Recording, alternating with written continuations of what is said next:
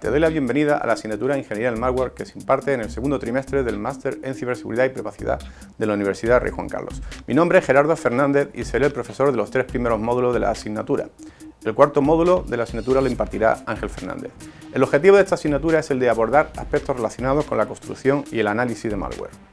Cuando hablamos del malware lo hacemos en su sentido amplio, es decir, nos referimos a cualquier tipo de código malicioso que provoca un cambio de estado en un sistema, para el beneficio del atacante. Probablemente hayas oído hablar de malware como Configure, CryptoLocker, Stuxnet o Zeus, entre otros. Pero ¿sabes qué métodos emplean para instalarse en tu equipo? ¿O de qué forma alteran Windows para llevar a cabo su cometido? Conocer cómo funciona nos permitirá diseñar mejores contramedidas. Por ejemplo, una variante de WannaCry afectó a más de 120.000 equipos en menos de 24 horas. Afortunadamente, mediante técnicas de ingeniería inversa, pudo descubrirse un método sencillo para frenar su propagación a nivel mundial, ya que de otra manera su impacto habría sido mucho mayor. Esta asignatura te permitirá aprender técnicas para diseccionar malware, estudiando su comportamiento en ejecución y analizando el código que lo implementa. Al final podrás emitir una valoración sobre cuál es el objetivo final del malware y qué mecanismo implementa para llevarlo a cabo. Además, los conocimientos adquiridos te permitirá afrontar con éxito muchos otros problemas donde la ingeniería inversa es la única salida viable.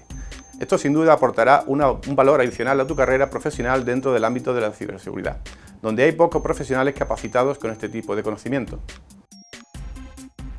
¿Qué voy a aprender en esta asignatura? La asignatura se compone de cuatro módulos, cada uno de ellos dividido en diferentes unidades didácticas en las que abordaremos de manera progresiva las diferentes técnicas de análisis necesarias para estudiar el comportamiento del malware.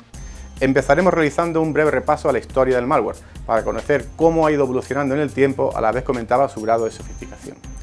En este primer módulo también tendréis una primera aproximación sobre la arquitectura del sistema operativo Windows, centrándonos en aquellos aspectos que nos puedan ayudar en el posterior trabajo de análisis. Este comenzará en el segundo módulo, donde aprenderás a utilizar una amplia variedad de herramientas de análisis a nivel de ficheros, procesos, memoria y red.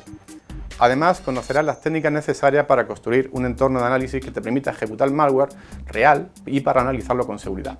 Veremos también cómo realizar un análisis a nivel de código en el tercer módulo, observando la funcionalidad que implementa y cómo interacciona con el sistema operativo. Aprenderás a reconocer, por otro lado, las principales técnicas antianálisis empleadas por el malware y cómo evitarlas. Por último, en el cuarto módulo nos centraremos en estudiar implementaciones concretas de malware, haciendo énfasis en el malware específico para los entornos industriales y para tecnologías emergentes como los dispositivos IoT. Estas implementaciones destacan por su grado de complejidad o por constituir un nuevo tipo de arma en el nuevo escenario abierto en el ciberespacio. ¿Cómo voy a aprender todo esto? Como el resto de asignaturas del máster, una vez que hayas pasado por las pestañas de información general y profesorado del aula virtual y resuelta todas tus dudas acerca de la organización de la asignatura, la actividad formativa se desarrollará entre las pestañas de contenidos y evaluación. En la pestaña de contenidos tienes todo el material de los cuatro módulos que componen la asignatura es necesario que los curses de manera secuencial, ya que cada módulo se asienta en los conocimientos adquiridos en el módulo anterior. Las pruebas de evaluación continua eh, se plantearán también siguiendo la misma secuencia. Además, te recomendamos completar todas las actividades formativas que hemos incluido en el apartado de contenidos. Aunque no sean puntuables, sí que te permitirán adquirir experiencia y resolver las dudas que hayas podido tener en su realización. Recuerda consultar el calendario, donde te iremos avisando de cualquier hito que tenga que ver con el seguimiento de la asignatura. Cada módulo dispone del material necesario para cumplir los objetivos de la asignatura, videoclases, apuntes, transparencia, herramientas, infografías y enlaces a material online. Recuerda que uno de los aspectos principales de este máster es su enfoque colaborativo. Trabaja en las actividades, consulta con nosotros las dudas que te vayan surgiendo y participa en los foros cuando se abran cuestiones. Esta asignatura te proporcionará acceso a muestras de malware real que utilizaremos los diferentes módulos. Recuerda siempre que su ejecución debe ser controlada y empleando los métodos que vemos en clase.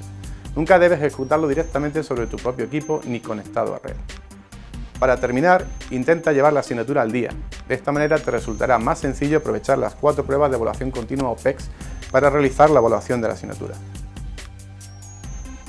Ya tienes toda la información necesaria para comenzar con los contenidos que hemos preparado para ti. Esperamos que los aproveches. Cuando quieras empezamos.